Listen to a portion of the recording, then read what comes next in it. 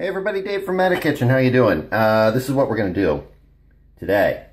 Because I'm tired of hearing about these hacks and how they're going to make your life wonderful and great and all that fun stuff. Um, I'm really bad at cracking eggs, so I want you to know that. But what I'm doing here, woo, I did it with one hand.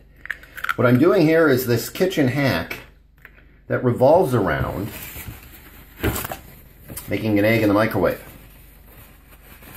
Okay? So I'm holding the camera, I was holding the camera left-handed, now I'm holding it right-handed. I have an egg, as you see here, and I also have, dun, dun, dun, sprayed it with cooking spray.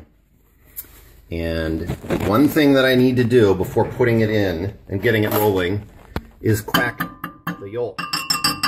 So I broke the yolk. I'm using this glorious Samsung here.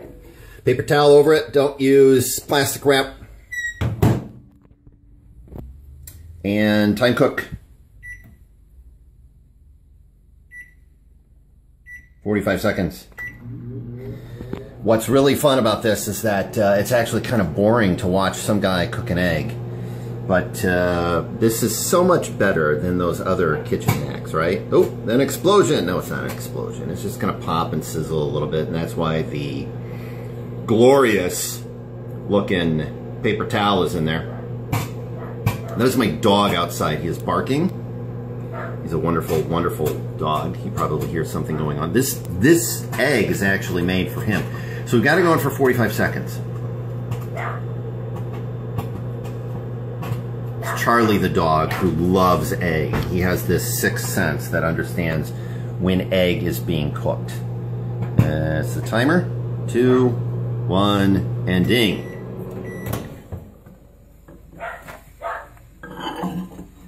Look at this. Look at this. Dun dun dun. This is egg.